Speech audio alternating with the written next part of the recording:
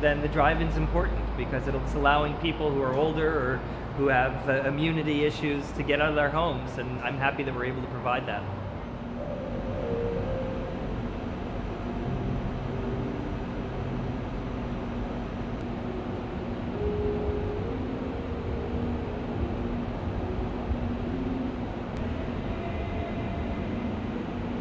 It was safe uh, with all the stuff that's going on in the world with the, the COVID.